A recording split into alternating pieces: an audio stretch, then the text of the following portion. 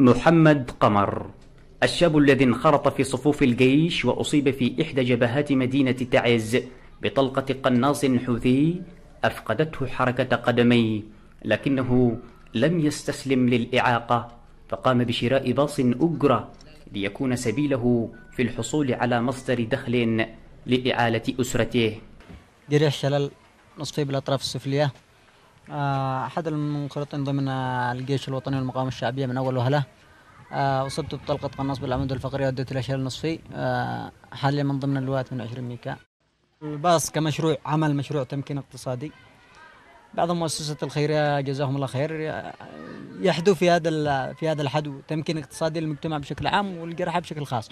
ونتمنى منهم إن يدعموا كافة الجرحى بمشاريع اقتصادية مشاريع عمل تمكين اقتصادي ليتمكن الجريح من إن يخرج من الروتين الممل.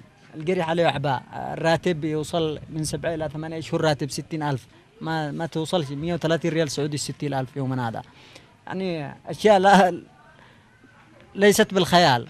ف يحاول الواحد إنه يتغلب على معوقة الحياة والعمل بقدر الاستطاع للعيش بسبل آمنة.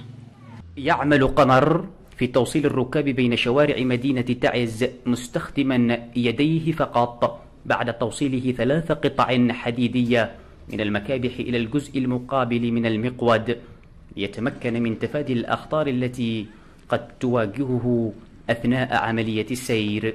هذا الأخ محمد قمر من من حارة من حارتنا وهو من أحد أفراد الجيش الوطني في محافظة تعز وهو تصوب في جبل قره وقتله طلقه في العمود الفقري وهو الآن يعني معاق ويطلب الله في هذا الباص على ايداه بحكم أنه لم يستسلم للحياة الحياة المعيشه التي إحنا عايشين فيها الان. الحرب هنا لم تستطع مصادرة أحلام شاب محمد وغيره من الشباب الذين اتخذوا من عزمهم وصلابتهم سلما للوصول إلى أهدافهم وغايتهم المشروعة والعادلة. رغم حرب ميليشيا الحوثي وما خلفته من مآس إلا أن محمد ورفاقه هزموها بكل جلاء واقتدار وأصبحوا نماذج ملهمة وماثلة في وجود التحدي والإصرار. محمد الهتار لأضواء سهيل تعز.